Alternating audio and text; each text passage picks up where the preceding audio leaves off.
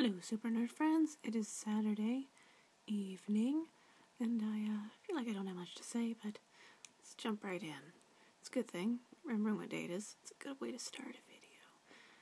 I really hope it's Saturday. That would be awkward. But uh, anyway, yeah, analyzing things is really cool. I like analyzing things, as you know, as I've said. Uh, but yeah, I was talking to you just now on the phone a few seconds ago that uh, I like I I uh, I don't like I don't really like Shakespeare until I get to know him through his poem or his play or whatnot. And I'm like, this is so well made and so interesting. And now I understand the history of it, and it's really cool. Like, like my favorite Shakespeare play is Richard III, and if you hadn't studied it, there's like really no reason why that would ever be your favorite.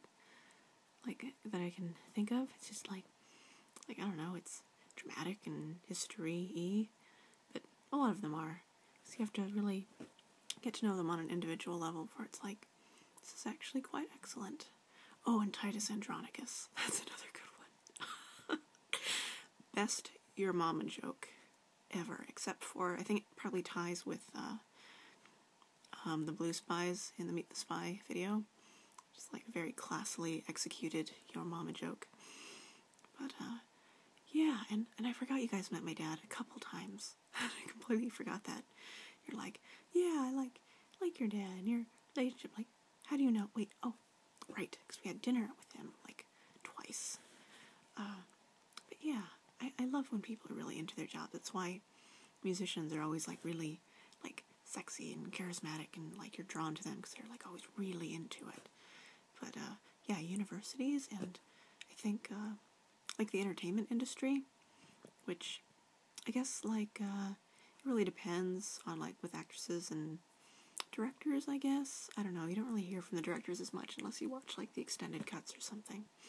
But um, like I've never like seen an interview or anything with like an animator or any of like the tech people where they're not like, oh my gosh, our jobs are so cool.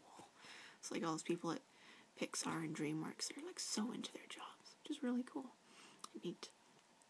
And then like uh, sciencey people, like with the really specialized jobs, like uh, like NASA people. Who at NASA doesn't love their job? I had a a chemistry teacher in high school who uh, like retired early because I got an offer for some kind of job at NASA. It was really cool. But uh, yeah, I think it'd be really fun to visit you guys over the summer. There are a lot of people I want to visit.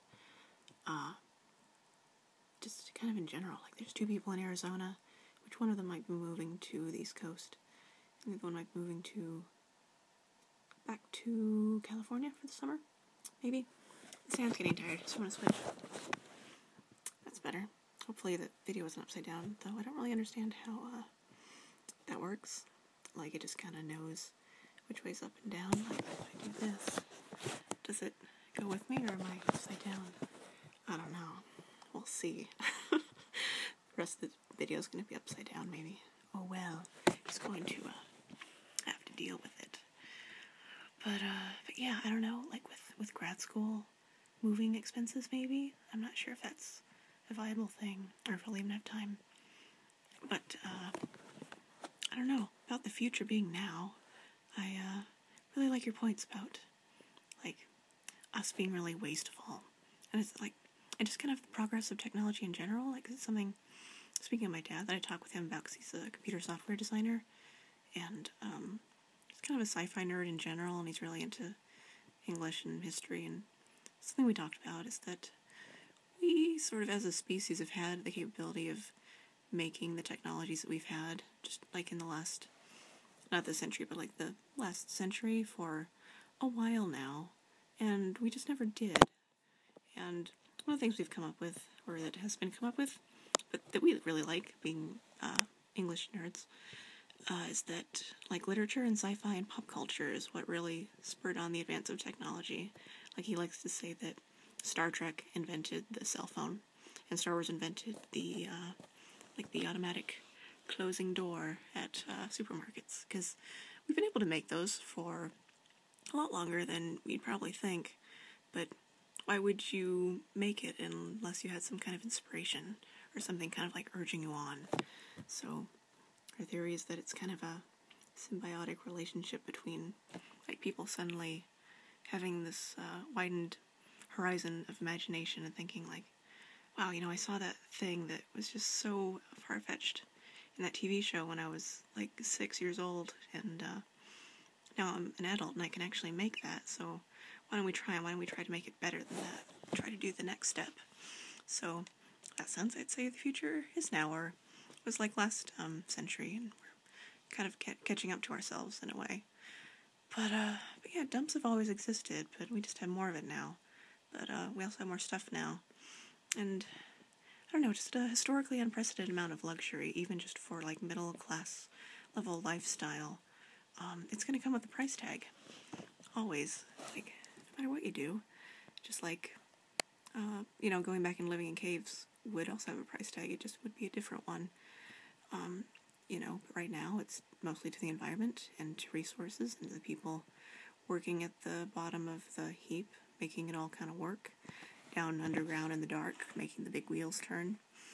Uh, but I don't think history repeats. Um, but certainly does modulate, and I don't know, but I don't know if it's fair to say that the future isn't now, just because, um, or it might be, maybe it's a disservice to say the future isn't now, uh, just because, or it's doing, it's doing us a dis- doing someone a disservice, maybe, or just a variation in how we define that phrase uh, to say the future isn't now because history is cumulative and because new problems create um, or new problems come from new inventions and stuff like that. Like uh, the story that I, I, loved hearing, it was very charming somehow, and in a weird way. But uh, way back when people used carriages, they thought that society was going to crumble and everything was going to come to an end because uh, everyone was up to their ears in horse crap all the time. They didn't know what to do with it. They thought, well, that's it. Like, we're just gonna have to go back and live in caves because we don't have to deal with this problem. And then suddenly, almost miraculously, someone uh, invented the automobile. So, modulation. And it's all just a matter of coming up with new stuff and figuring out how to fix the new problems that come with it. And uh, it's not a bad thing necessarily, it's just uh, things change. Yay. Something I uh, end up talking a lot about whenever I tell someone I want to be a librarian. They're like, but aren't libraries kind of going extinct? It's like, well, I guess they might if you're thinking libraries in a very strict kind of old-fashioned sense, in the sense that like they're kind of like monasteries that house little paper things. But um, you know, there aren't as many monasteries around as they used to, and we have different ways of handling technology now. It's not necessarily a bad thing; it's just a different thing.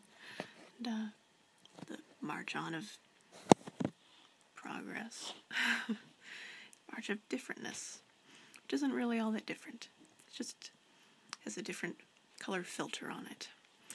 Because talking about Alexis, the future is blue. Because uh, I don't know. Whenever you look at sci-fi movies, it's always kind of blue, or maybe green, depending on the feel. Like The Matrix is green. The movies, because uh, it's futury, but it's also kind of like weird and off But like when you're actually in the matrix, it's kind of green, but outside it's blue because it's the future, but it's not in the matrix. Anyway, so that's enough about that. There we go. If it was upside down, we'll end the video with me right side up, and I can see the uh, the time is right side up, so it's 8:51. I'm gonna stop and sign out and go to bed. All right, bye.